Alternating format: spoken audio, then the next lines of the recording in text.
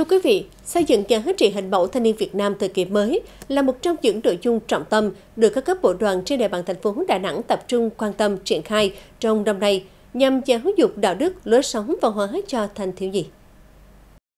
Trở thành đoàn viên Đoàn Thanh niên Cộng sản Hồ Chí Minh là bước khởi đầu cho chặng đường cống hiến đầy nhiệt huyết của thanh niên dưới ngọn đuốc soi đường của đoàn.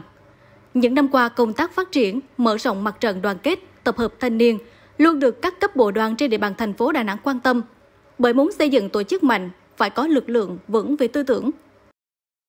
Khi được đứng vào hàng ngũ của Đoàn Thanh niên Cộng sản Hồ Chí Minh, em cảm thấy rất vui và tự hào. Ờ, bản thân em sẽ cố gắng rèn luyện và học tập tốt hơn nữa để xứng đáng khi được vào đoàn. Đối với các cái hoạt động mà các cuộc vận động xây dựng hình mẫu thanh niên trong thời kỳ mới thì quận đoàn cũng đã xây dựng được cái ờ, bộ tiêu chí dựa trên cái hướng dẫn tức là cái tiêu chí của 12 tiêu chí để xây dựng ờ, hình mẫu thanh niên. Theo đó cũng đã tuyên truyền và vận động các bạn đoàn viên thanh niên và chúng ta cũng đã triển khai thực hiện.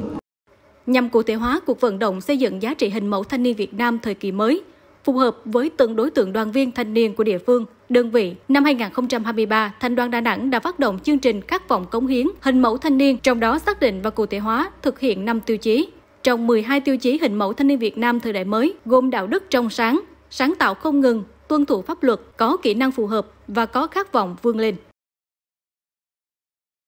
Chúng tôi cũng nhận thức được rằng à, cái à, việc giáo dục về lý tưởng cách mạng cũng như đạo đức lối sống và đặc biệt là cái phổ biến giáo dục pháp luật cho thanh niên là một trong những cái nhiệm vụ mà chúng tôi đặt lên hàng đầu. Tôi đề nghị thanh niên thành phố cũng ờ, tiếp tục nâng cao cái nhận thức chính trị, rồi tiếp tục ờ, xây dựng, bồi đắp cái tư tưởng, đạo đức, lối sống của mình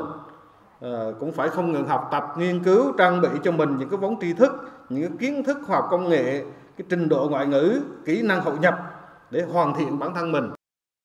để đưa cuộc vận động xây dựng giá trị hình mẫu thanh niên Đà Nẵng thời kỳ mới ngày càng có sức lan tỏa, thời gian đến tổ chức đoàn tại địa phương sẽ tăng cường công tác tuyên truyền về các tiêu chí hình mẫu cũng như tạo môi trường cho đoàn viên thanh niên rèn luyện, phấn đấu, tu dưỡng, cùng với đó làm tốt công tác phát hiện, tôn vinh, bồi dưỡng, nhân rộng và phát huy các gương điển hình thanh niên tiêu biểu ở các lĩnh vực, góp phần truyền cảm hứng sống đẹp, sống có ích trong đoàn viên thanh niên.